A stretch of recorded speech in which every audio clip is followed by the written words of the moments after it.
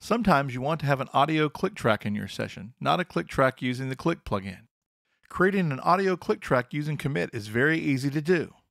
First, make sure you have created a click track in the session with the Create Click Track command under the Track menu. Then, make a timeline selection on how long you want the click track to be.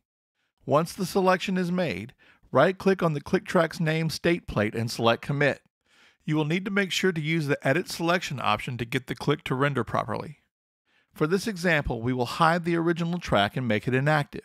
Select OK, and the new audio click track will be rendered to the length of the selection you made, and the original track is hidden and made inactive.